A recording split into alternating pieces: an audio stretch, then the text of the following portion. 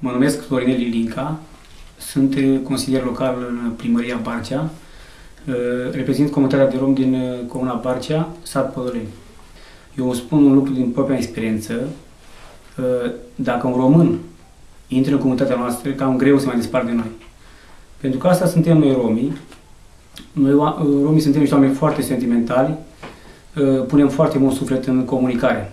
Datorită faptului că noi, noi nu am comunicat o perioadă foarte mare de timp, în timpul când am fost subjugați, așa cum știți și dumneavoastră, în perioada de subjugare, noi am început să comunicăm și dacă noi suntem puși, așa cum se spune românește, în seamă de majoritate, atunci noi dăm sufletul pentru acest lucru.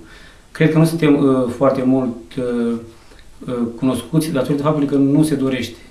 După experiența mea de viață, m-am spus de 12 ani în Consiliul Local.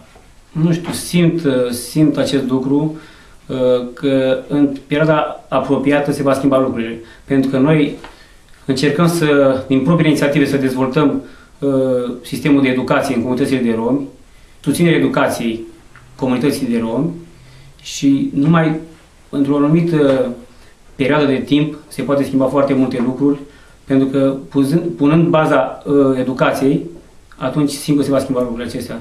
Deci trebuie stimulat educația în comunitățile locale. Și aceasta, dacă dorește binele comunității uh, majoritare, trebuie să stimuleze educația ca să scape de probleme cum ar fi furturile, cum ar fi uh, probleme sociale, asistența socială, dacă dorim să, să scăpăm de asistența socială, dacă dorim ca bugetul țării să fie mai bogat și să dezvoltăm infrastructura locală, atunci trebuie să investim în educație.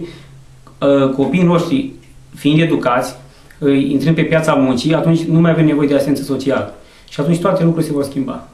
Singura scăpare a noastră este copiii noștri să dăm la școală, să învățăm și să învățăm să pună suflet pentru cei din jurul lor, pentru romii care nu cunosc carte și să învețe la rândul lor să fie educați și să fim o altă comunitate în care dorim să trăim și să ne integrăm.